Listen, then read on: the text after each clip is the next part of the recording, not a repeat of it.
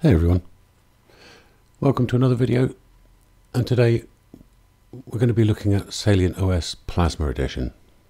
Now the ISOs are available now on SourceForge under the 1904-16 Plasma Testing folder, so feel free to test if you'd like to.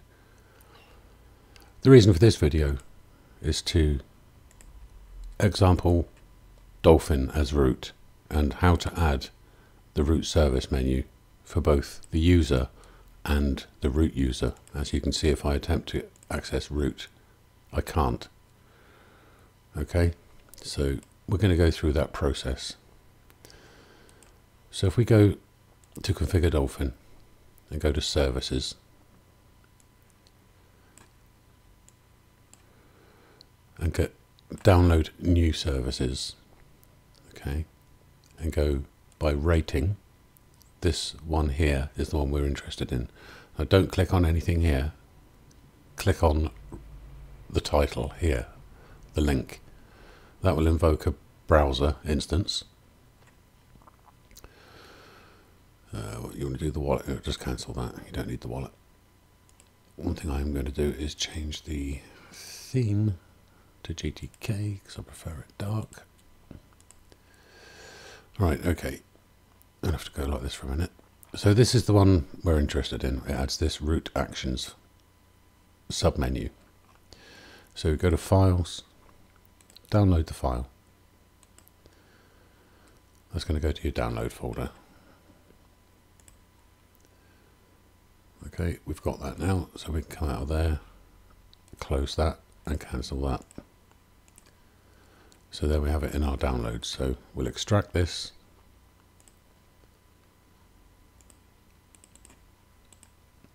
And we've got an install and we've got a deinstall.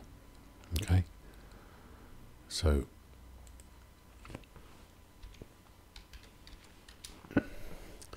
we do dot forward slash in press tab for completion or just type dot, dot forward slash install dot sh and just follow what is happening here. Just click install. Ignore this output, it's fine. If we close that now, we can see we have a root actions menu. But what we need to do, we need to activate that for root as well. Right, so if I go to root, right click on this folder and say open in file manager, we now have a root instance of Dolphin running, which is example by the fact we have this install.txt. This is the root home folder.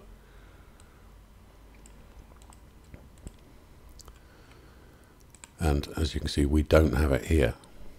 Right, so we need to do the same again. So if I go into downloads there, come back to home, live user, downloads, and just drag and drop that over here and tell it to copy and we just repeat that process here.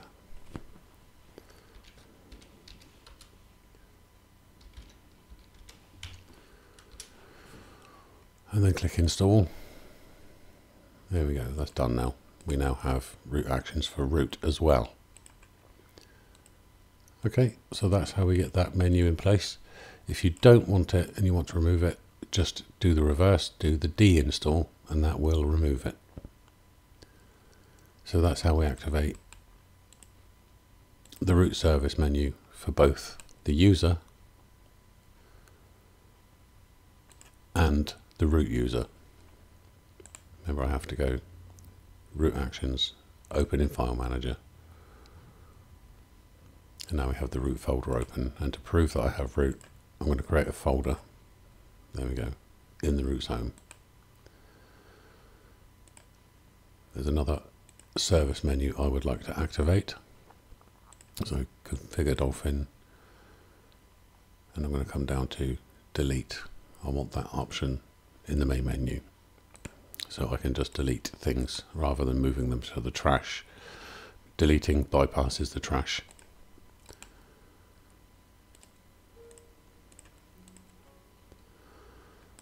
Okay, so if I create a folder again now, and now hit delete. It's going to ask me, I'll tell it not to do that again. There you go. And that's bypass the trash altogether.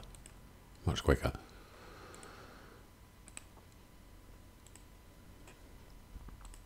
As you can see.